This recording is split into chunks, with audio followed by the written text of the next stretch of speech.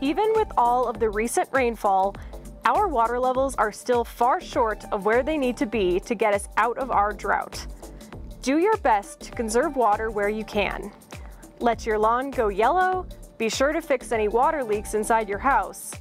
Any water you can save now is water we'll have later. Learn more about saving water at slc.gov slash utilities slash conservation.